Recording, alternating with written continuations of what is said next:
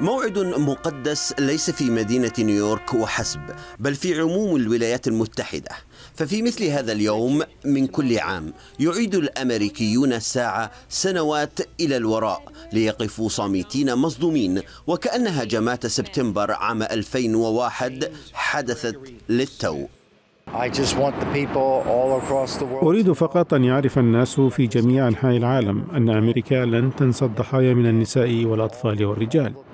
قبل عشرين عاما كان يوما عاديا الكل ذاهب إلى عمله ومدرسته لكن الإرهاب وقع.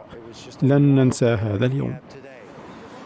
مخاوف الشارع الأمريكي من الإرهاب لم تتبدد بمرور الأيام والحضور إلى هنا بمثابة تذكير بضرورة اليقظة فبالنسبة لهم لا يعرفون كيف وأين أو متى سيضرب الإرهاب من جديد. لفترة من الوقت مكثنا نشاهد الأشخاص الناجين الذين يمرون عبر جسر بروكلين قبل عشرين عاما على أمل أن تكون صديقتنا واحدة منهم. لكنها لم تكن كذلك. توفيت لكن مكانها في قلوبنا ما زال فارغا. نأتي كل عام لنتذكرها.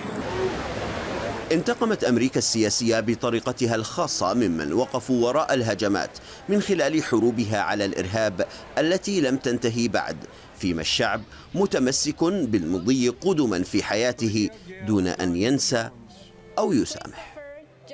هجمات الحادي عشر من سبتمبر قبل عشرين عاما وحدت الشارع الأمريكي لكن بعد انسحاب القوات الأمريكية من أفغانستان وما رافقه من أعمال فوضى.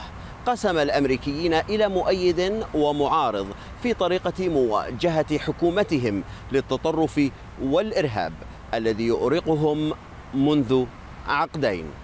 أياد الجغبير سكاي نيوز عربية واشنطن.